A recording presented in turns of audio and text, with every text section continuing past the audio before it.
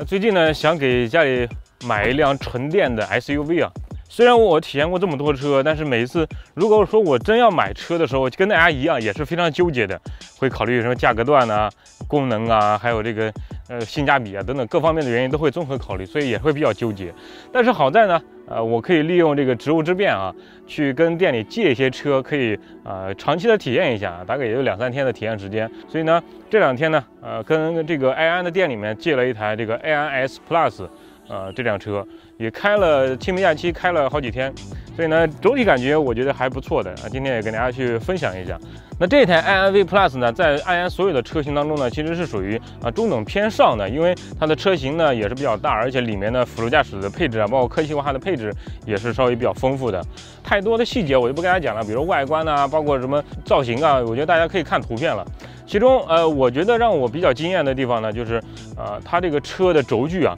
它轴距我们从侧面看的话呢，确实拉得非常非常的长，因为纯电车它是没有发动机了，对吧？它就可以把这个前轮的空间呢，可以尽可能往前移，后轮也尽可能往后移。所以你正常一看，哇，这个轴距真的是非常非常长。但是这个车的整体尺寸比中型 SUV 还要小很多的这样一个尺寸。那这样带来的好处呢，啊，就是内部的空间就会非常非常的大。比如说我先上到前排给大家看一看前排的这个空间，大概是这样的一个状态。所以你看腿部的空间啊，包括这个方向盘的位置。也都非常的舒服。现在我们可以再到后排去，所以这个上来之后呢，就可以感到这个腿部空间真的是非常宽。然后呃，现在如果说我用全，哎，直接有个小臂这个小臂的这样一个距离了啊，就我觉得通过画面大家应该可以感觉到啊，这个空间确实非常大。然后包括翘二郎腿也完全没有问题，然后中间也没有这个凸起啊，完全是纯平的啊，完全是纯平的。那坐在后排还有一个爽的地方，就是在于这个上面的这块玻璃。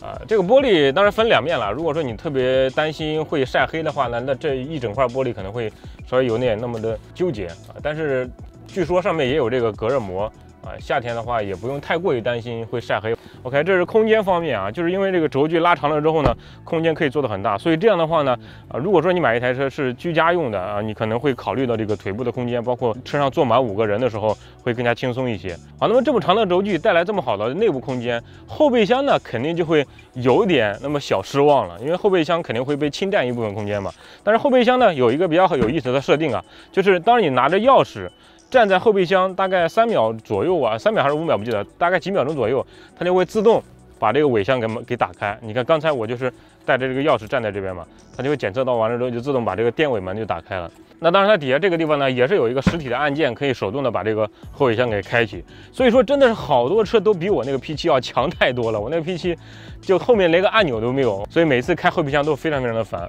好，那这个后备箱的空间呢，简单看一下。那我周末试了一下，如果说严格来说的话呢，放一个二十八寸的箱子，再放两个二十寸的箱子，然后再放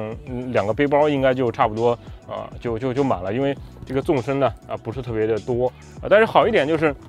它在这底下还有一个非常规整的两个槽，这里面也可以放一些零零碎碎的东西，这样的话就可以保证上面这个盖板上面就会比较干净一些嘛，对吧？然后再往底下看啊，这个备胎呢其实是可以选配的啊，呃，在网站上看到是可以选配，但如果说你不选配的话，底下是不是也是有一个更大的一个储物空间呢？啊，应该是啊，当然这个备胎就看你选不选了，如果不选的话，这个底下还有一些空间，然后两边呢还有两个小槽。啊，就可以把一些容易晃动的东西呢，比如我这个吸盘，就可以放在这边啊。那其实里面呢，可说的地方也是非常多呀。首先第一个，我觉得这个座椅呢是非常舒服的，很软，而且反正让我觉得软的有点过度了，真的感觉在坐一个真皮沙发那种感觉。这个座椅真的是非常非常软。那其次呢，这个方向盘也是一个真皮的，就是入门款是没有的，入门款是普通的这个方向盘，这个真皮的是在高配的款上才有啊，才有。呃，然后这边呢，这个电子的换挡结构，这个导台这个部分呢设计的，我觉得呃还可以吧。主要的亮点是在于它和前面呢是分离的，不是连起来的。呃，从侧面看起来的话，会感觉空间更大一些。那底下也有很大的一个空间，你可以放一些东西。上面是无线充电的面板。这边是两个杯架的区域，然后这边是旋钮的换挡的结构，而且呃，我这两天开开这个车呢，还发现有一个非常有意思的，就是我正常这样开车嘛，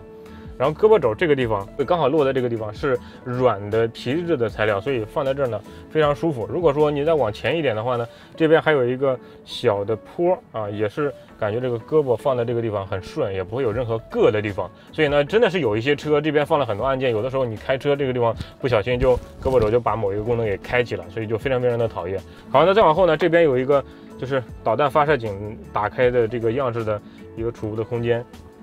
那里面可以还挺深的，然后里面放了很多红包，哎，还有一个没拆的，你猜一下会不会有钱？看一看，哎，还真有钱，里面还竟然还有二十块钱啊！这应该是上一个媒体或者上一个呃谁借的车，然后没有还。好，那除此之外呢？我觉得最多要跟大家分享的可能是这一套车机系统了，大部分功能都还挺不错的，比如在线音乐啊、看爱奇艺啊，或者说导航啊，这些功能都有啊。但是唯一让我觉得不太好的地方呢，就是它内置的这个地图是百度的车机版的地图。就是在车上啊，高德和百度的话呢，我还是比较喜欢用高德地图，因为高德地图在手机分享的这个功能做的还是比较完善一些。当然了，这个百度地图也是有这个互联的功能，你登录账号之后，也可以在手机上发送相关的地址，也可以用微信，然后绑定之后，啊，也可以把地址发送到车机系统，然后导航是没有问题。但是在实际的导航逻辑，还有这个导航的提示音，包括各个各种的这个呃习惯上，我觉得这个百度呢让我有点不太习惯，因为高德可能会更顺一点啊。但是这是我的问题。那另。外呢，在这个车机系统里面呢，还有几个小的地方让我觉得还是不错的。比如说这个三百六十度的影像，在打转向灯的时候呢，它会自动切换到侧面的这个视角，然后呢，打这边也是在这边的视角。那如果说你离物体比较近的时候呢，它也会自动的去啊开启这个画面。所以对于新手来说呢，这样的话，在过一些狭窄的路的时候会。更加的方便一些。这个车呢，它是有这个智能泊车的啊，当然这个功能是有一些配置是需要选配的。然后这边还有记忆泊车，请选择路线啊，它记忆泊车可以记录啊这个一百五十米左右的这个距离。然后呢，你设定好路线之后呢，它就可以直接按照你这个路线去自动的回到车位。那还有一个呢，让我觉得比较有意思呢，是在这个设置里面啊，它是可以调整角度的。我现在可以手动的去把它。调整到哎倒车的时候的一个视角，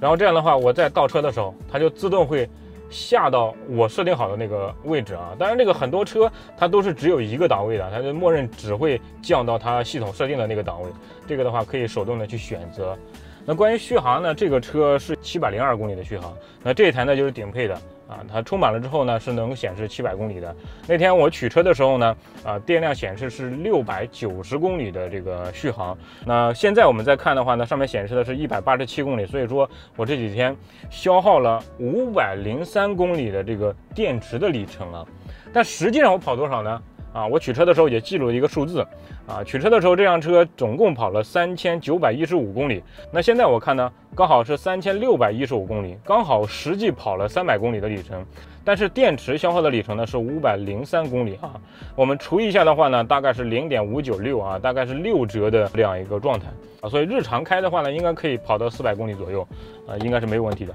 而且呃还有一个变量啊，就是我这几天一直在跑高速，而且呢一直在用切换到运动模式去开。当然新车嘛，我肯定要啊踩一踩它的这个油门的这个感觉嘛，所以说开的有点猛。那现在我看这这个电耗的话是二十一啊，二十一点几。啊，这个在 SUV 这个车型当中呢，稍微有点偏高，那可能是我开的这个比较猛。那如果说要日常开的话，可能这个数据呢会更好一点啊。